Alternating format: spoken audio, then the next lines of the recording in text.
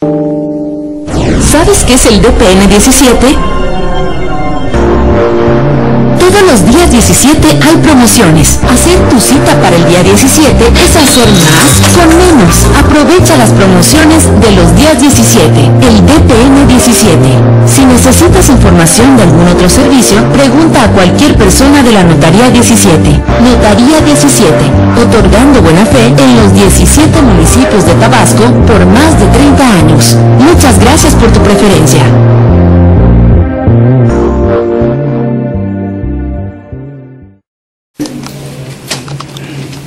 Aquí, tienen en inglés esta gráfica.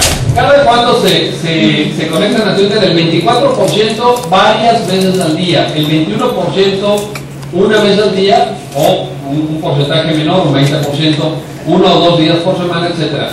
¿Qué significa esto? Que Twitter, varios de aquí lo pueden atestiguar, Twitter es una red sumamente adictiva. Tenemos que estar pendientes de. Tenemos que estar conectados. ¿Por qué? Porque como va corriendo el timeline, dejas dos horas y de repente dices, hijo, ya pasó. El otro día me dijeron, yo, fíjense, ustedes saben que yo procuro estar pendiente que procuro estar muy informado y muy, muy pegado ahí. Y el otro día estaba dando una conferencia sobre, sobre tecnología y redes sociales y me dijeron, oiga, ¿y qué opina del rumor de hoy en la mañana? ¿Cuál fue el rumor de hoy en la mañana? Que mataron a Obama. Sí, fue un rumor que corrió en Twitter. Luego me enteré, ¿saben, ¿saben la historia del rumor de Obama? Un hacker se mete a Fox News, hackea la cuenta y lo pone. Y se prende la noticia como pólvora. Al grado que tiene que salir el vocero de la casa. Bueno, inmediatamente el responsable de comunicación de Fox News habla a la central de Twitter en San Francisco y dice, oye, baja esta cuenta. Me la hackearon, bájala ahorita. En ocho minutos estaba bajada. Pero tiene que salir el director de comunicación social de la Casa Blanca a decir, no, el señor Obama está desayunando con su familia. Y por ejemplo, Facebook es la página del mundo en donde mayor tiempo pasa el usuario. O sea, cuando te conectas a Facebook, estás en Facebook, te puedes conectar a veces del día, pero cuando estás en Facebook estás 35 minutos en promedio. El valor comercial. Esto es muy importante. Este dato a veces los usuarios normales como ustedes y yo, los que somos, digamos, la clase media de las redes sociales, no nos damos cuenta del enorme potencial, ojo, económico. Económico. La última valoración de Facebook sitúa ya cuando Facebook salga a bolsa, porque todavía no ha salido a bolsa. Pero por lo que le están inyectando los inversores, se estima que pudiera valer 100 mil millones de dólares. 100 mil millones de dólares. ¿Qué significa esto en términos prácticos? Para hacer una idea, las reservas totales del Banco de México en dólares, que son las más altas de toda la historia, nunca México había tenido tantas reservas internacionales, son de 114 mil millones. Facebook vale 100 mil millones de dólares. El dueño del 51% de las acciones se llama Mark Zuckerberg, tiene 27 años calculen cuánto tiene en el banco. Entonces, este es un, este es un dato que creo yo que vale la pena resaltar. ¿Cómo se los puse en esta gráfica? Les puse el dato de cuánto vale en términos de publicidad. ¿Quién se está llevando la publicidad en las redes sociales? Porque la, en la publicidad está el dinero, ¿verdad? Ahí es como las redes sociales. ¿Por qué vale 100 mil millones de dólares Facebook? Porque puede jalar muchísima publicidad. El otro día un amigo que organiza congresos, organiza, fíjense, congresos académicos, vive de eso. Y le va muy bien, gana muchísimo dinero. Me dijo, puse un anuncio en Facebook para que llegara a todos los facebookeros de México para que se anuncien mis congresos. Y me dice, me salió muy barato. 15 mil pesos pagué y en todo Facebook estaban los anuncios. Ay, ¿y ya con eso? No. Por cada clic que le daban, en donde, del anuncio en Facebook, le daban clic, si iban a mi página, le tuve que pagar a Facebook 4 pesos. 4 pesos por cada clic. ¿Y como cuántos clics le dieron? El primer día 5 mil. Fíjense nada más. Por eso es que esta gráfica tiene sentido. Ahora, esta gráfica es del 2009. Ojo con este dato. Vean qué había aquí. Eso ya está liquidado. MySpace fue comprado por 430 millones de dólares por Rupert Murdoch, o por el grupo Fox, digamos Fox News, etc. Y lo acaban de malbaratar en 24 millones de dólares. Siguiente lámina, por favor. ¿Qué hacemos en las redes sociales? Porque hay muchas cosas por hacer, ¿no es cierto? Podemos ver fotos, podemos poner mensajes, podemos bajar música, videos, subir música, podemos eh, llenar nuestros blogs de información, eh, podemos crear personajes, eh, poner vínculos a redes sociales, etc. ¿Qué es lo que más hace la gente? 41% postea mensajes, sube mensajes, pone texto. Esto es muy relevante. Veo que aquí hay muchos jóvenes. O sea, todos nosotros. Todos nosotros.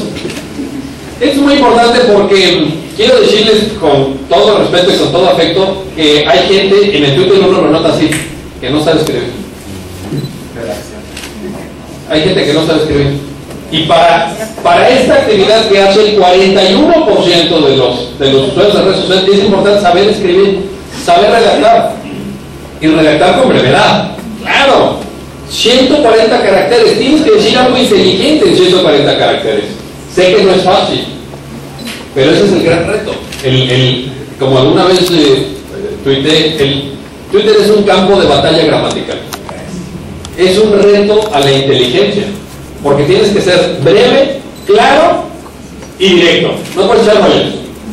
Si yo intentara en una idea transmitir el sentido del derecho penal y empezar diciendo el derecho penal entre los aztecas era, se acabó el tema.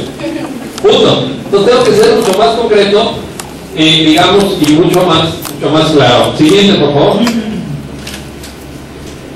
¿Cómo se comunican los adolescentes? ¿Por qué, ¿Por qué de repente hay un estudio en Estados Unidos que dice que la generación menor a 25 años, y sobre todo menor a 18, pero digamos a partir de los 25 se empieza a notar, ve 0 minutos de tele al día. Mismo, ese mismo grupo de edad se pasa 8 horas al día en la computadora. ¿Qué es lo que hacen? ¿Cómo se comunican? Aquí, aquí pueden ustedes ver cómo va evolucionando, por ejemplo, quienes mandan mensajes de texto, quienes hacen llamadas de internet, quienes hablan, quienes hacen llamadas de celular, perdón, quienes hablan cara a cara, este, quienes usan redes sociales para comunicarse o mensajería instantánea o el email. Fíjense, por ejemplo, este dato. ¿Cuántos adolescentes de 17 años usan el email? 11%. ¿Y cuántos usan redes sociales? 25%. Yo les quiero.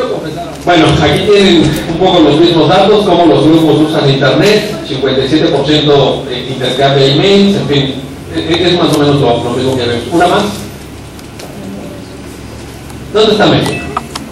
¿Dónde, ¿Dónde, estamos parados en este tsunami de información tan, tan relevante? Ahí tienen ustedes algunos datos. Facebook es la red social más visitada en México, por supuesto. Y ojo, el Distrito Federal la segunda ciudad de América Latina más activa en Twitter.